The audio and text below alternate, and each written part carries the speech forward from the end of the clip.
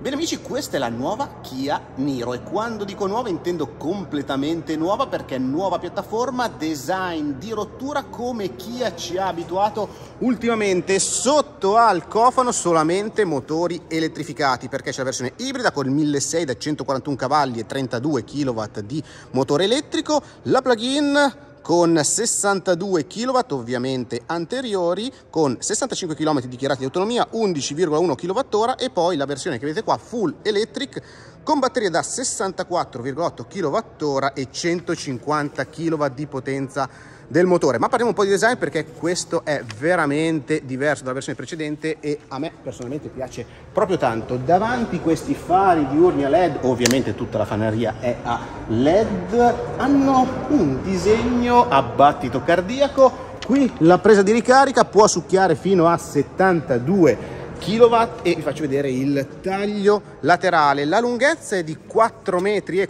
cresciuta di 6 cm rispetto alla versione precedente. Poi entriamo perché anche dentro è molto molto diversa.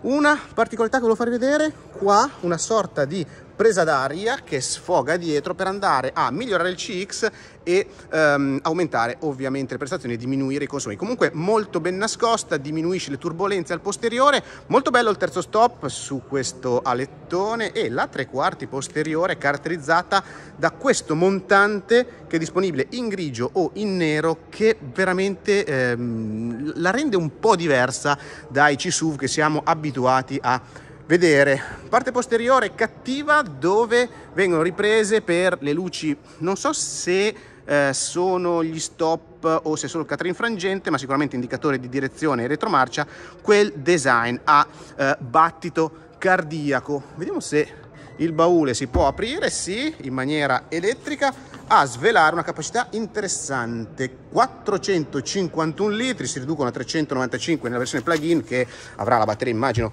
qua sotto. Ben organizzato il carico con questo vano dove si può andare a mettere eh, qualcosa, ma soprattutto divani che si possono abbattere 40, 60 e abbattuti formano un piano unico. Questa non è la confezione del cavo di ricarica, bensì la voilà cappelliera fatta con il 75% di materiale riciclato e come vedete ma non solo modulare, anche ripiegabile, cioè adesso io non so come si metterà, ma immagino che si metta qua così a protezione, ma se non vi serve non è quel marnone che non sapete mai dove metterlo, no, lo ripiegate e sta in quel sacchettino un po' tipo le tende del Decathlon. E oltre al vano posteriore, sulla elettrica ci sono anche 20 litri qua davanti, magari per mettere i cavi di ricarica. Batteria da 64,8 kWh, dichiarati 463 km, sono ancora in fase di omologazione, e 11 kW in AC, vi dicevo prima 72 in DC. Una cosa che mi piace, il vehicle to load, ovvero la possibilità di collegare un adattatore alla presa della vettura per succhiare fino a 3 kW, cioè ci possiamo collegare qualsiasi utilizzatore elettrico. Mi piace che ci sia l'illuminazione, mi piace che ci sia un'indicazione della ricarica, non mi piace, o meglio, mi piace in parte che il, um, il vano per la ricarica sia frontale. Il bello è che se avete una colonnina a destra o a sinistra comunque ci arriverete, il brutto è che quando fate tante autostrade, qua si riempie di moscerini, aprirla non è bellissimo. Ovviamente presente l'ingresso keyless, ve la faccio vedere dentro, apprezzo il fatto che tutti i comandi qua sul pannello porta siano con i pulsanti, tra l'altro ci dicevano che molti materiali anche i pulsanti sono riciclati. Harman Kardon per la sonorizzazione sedili elettrici belli i rivestimenti. E il sedile passeggero come su EV6 ha la posizione zero gravity per le penichelle. E una particolarità il cielo è in un materiale 50% carta e 50% riciclato. Molto molto particolare. E sulla plancia si stagliano questi due display da 10,25 pollici con anche questo ulteriore display diciamo che è come su EV6 la disposizione che può fungere da scorciatoie per le varie funzioni e da comando per la climatizzazione. Qui abbiamo la possibilità della ricarica wireless, la presa USB, la presa accendi sigari e la presa di tipo C. Sulla console centrale abbiamo la possibilità di riscaldare, rinfrescare i sedili, del parcheggio automatico, di attivare ovviamente le eh, cam posteriori e attivare il volante riscaldato. Ecco, adesso io non ho a disposizione la chiave ma sulla chiave ci sono i comandi per il parcheggio da remoto, quindi per far entrare e uscire la vettura automaticamente, magari da un posto auto molto stretto. Su questa versione con l'infotainment da 8 pollici abbiamo la possibilità di Android Auto e CarPlay wireless, invece sulla versione da 10,25 pollici c'è solo la possibilità di CarPlay Android Auto cablati. Um, diciamo che la struttura struttura dell'infotainment è quella di EV6 dove ho approfondito, vi rimando a quel video.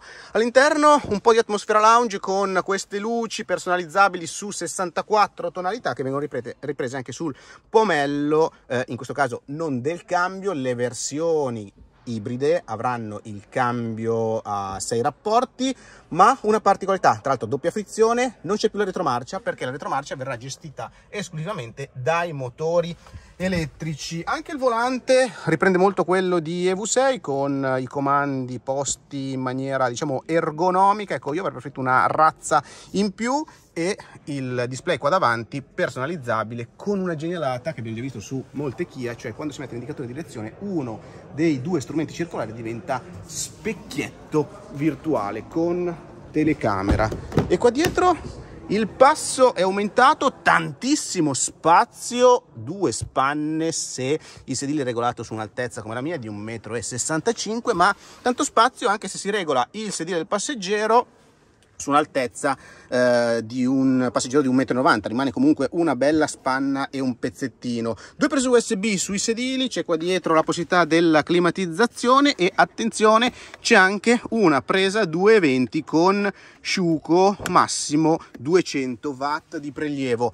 Bella questa forma della back del sedile perché permette di appendere una giacca, cinture regolabili in altezza, Sapete che si sta veramente comodi? Qua dietro io ho una bella spanna, qua ci vorrebbe Pietro per capire come si sta anche eh, se si è una persona un po' alta, ma a me sembra che di spazio ce ne sia parecchio. Ecco, unica critica che non mi fa impazzire, il tetto apribile, un po' piccolino, un po' old style, ma qua Isofix che si raggiungono bene e abbiamo il bracciolo con due portabicchieri. Chissà se arriverà anche la versione col carico passante qua non c'è. I prezzi non sono ancora stati comunicati ma vi do due chicche. La prima è che arriveranno gli aggiornamenti OTA per i proprietari e la seconda che l'applicazione ha due novità.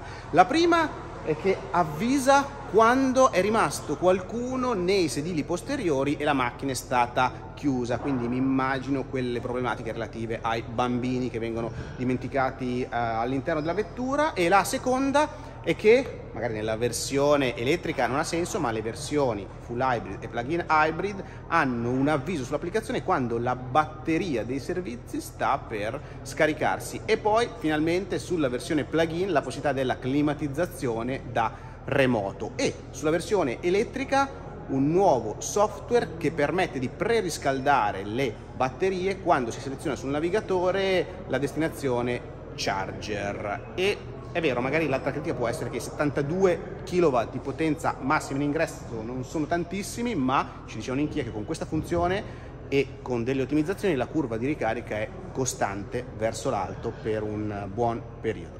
Ciao, fatemi sapere se vi è piaciuta nei commenti.